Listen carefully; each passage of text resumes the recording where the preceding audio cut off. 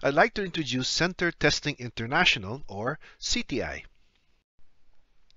CTI is the largest testing, inspection, and certification services provider in China, with over 10,000 personnel in over 200 labs and offices, and growing internationally through partnerships and acquisitions. Their services also include audits and trainings, as well as GB Enterprise standards, these services cater to a wide variety of industries from softline to hard goods, electronics, automotive, and so on.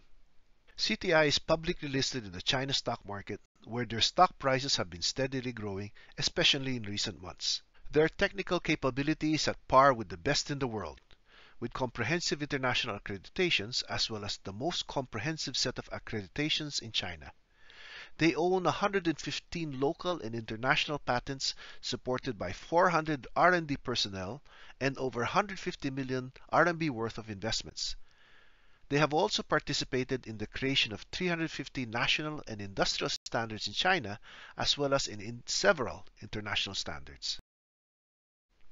But why CTI? Well, for one, they've already been providing significant access and support to international brands in the second largest market in the world, not to mention their growing presence internationally. They also provide end-to-end technical support from product risk assessment through manufacturing and regulatory support in the markets, and they do this with speed, agility, and responsiveness. For further details on CTI services, please contact me at tony.lopez at cti.cert.com.